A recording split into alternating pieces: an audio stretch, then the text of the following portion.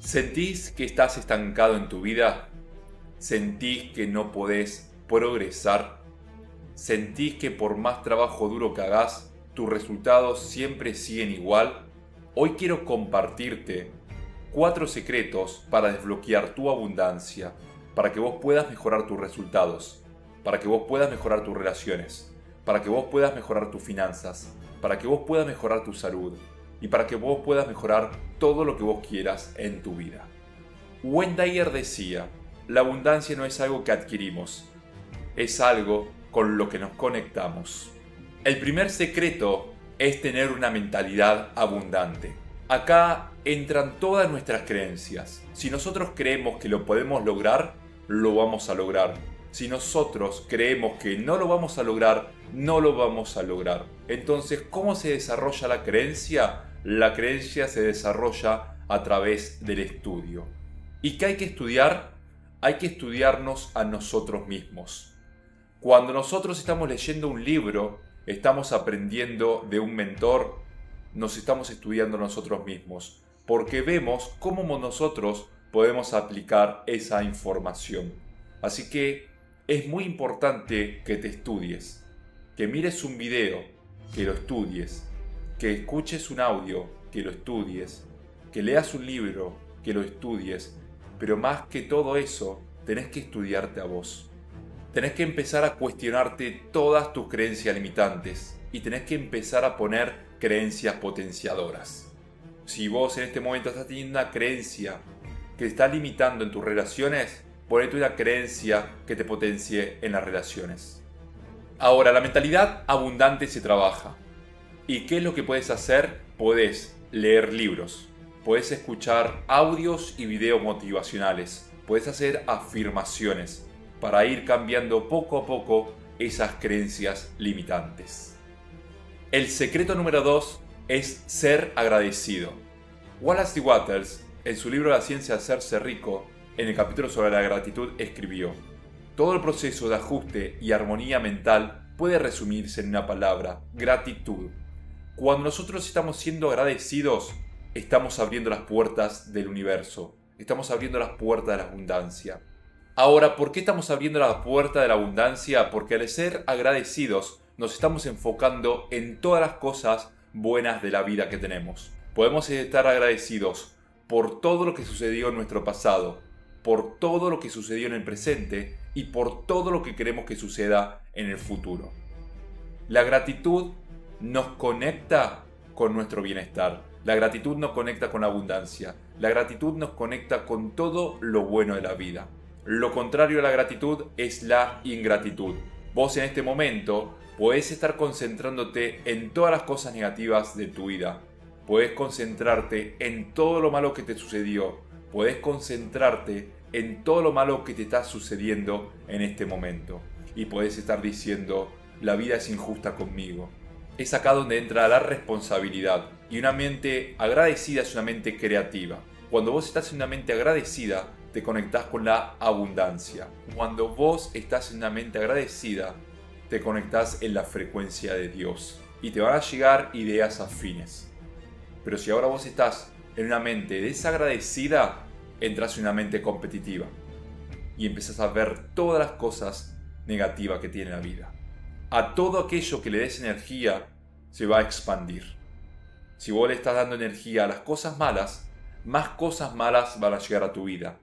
Pero si ahora vos te estás enfocando en todas las cosas buenas de la vida, más cosas buenas te van a llegar. Y recordá, vos siempre elegís. Es acá donde entra la responsabilidad. Vos sos responsable de tus pensamientos. Vos sos responsable de tus emociones. Vos sos responsable de tus acciones y sos responsable de tu crecimiento personal. Ahora, ¿cómo puedes aplicar la gratitud en tu vida? Puedes llevar un diario y puedes empezar a escribir todos los días por las cosas que agradeces. Gracias porque tengo salud. Gracias porque puedo ver. Gracias porque puedo escuchar. Gracias porque puedo caminar. Gracias porque tengo familia. Gracias porque puedo hablar. Gracias porque puedo sonreír. Gracias porque estoy vivo. Gracias por mis mascotas. Agradece todas las cosas que tenés en tu vida, porque son muchas cosas que tenés. El secreto número 3 es la acción inspirada. ¿Y qué significa acción inspirada? Hay que actuar cuando somos guiados. ¿Y cómo vamos a ser guiados? Cuando seamos agradecidos. Cuando nosotros tengamos una meta. Hay que tener una meta. Si nosotros no sabemos a dónde queremos ir, nunca nos van a llegar esas ideas. Y capaz que van a llegar las ideas, pero no las vamos a aplicar, porque no sabemos lo que queremos hacer en nuestras vidas. Así que la acción inspirada llega a través de la intuición. Si vos tenés una meta, si vos tenés un objetivo, y si vos te concentrás en ese objetivo todos los días, te van a llegar ideas.